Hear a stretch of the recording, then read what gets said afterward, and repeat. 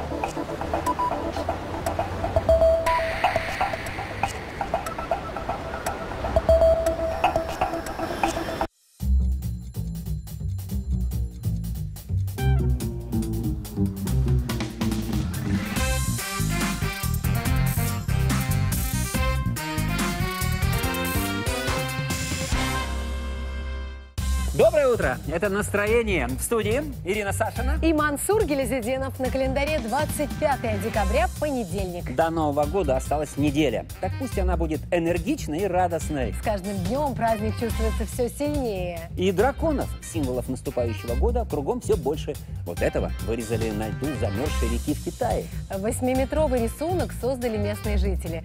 Жаль, что он не слишком долговечный. Ну, лед-то он растает еще не скоро. Зима ведь еще даже не на середине. А вот какую погоду ждать сегодня, пора уточнить.